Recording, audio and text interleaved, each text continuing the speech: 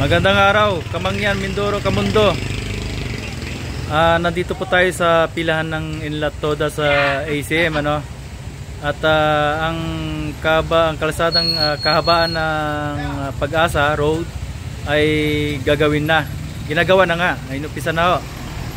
Kasi matagal na po itong ah, gustong gawin ng ating ah, barangay sa pamamagitan ng ating barangay captain na itong ito na nga po, naumpisan na.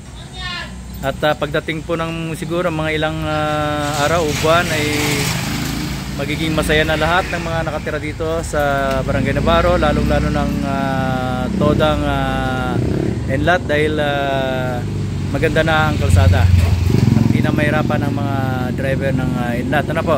Ayan, nagtra-traffic po ang ating ah, Vice President ng Toda Enlat na si Rodel Katapang ah, ah, para po ah, mapadali ang ah, takbo ng mga sasakyan ano? At nang hindi magkabulbul dito ayan po. Ayan po sila. Ayan po. Mga natin doon papahinga. Ito po tingnan po natin. Ah, dito po binubungkal siya. At ah, doon po banda ron ay pinapatag na nilalagyan na ng graba upang ah, malatagan na ng semento ano? Doon po banda ron. Ayan.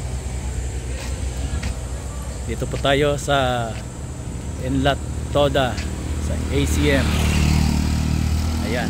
First line po ang ating vice. Palis sa po siya. Okay. Thank you. Thank you guys for watching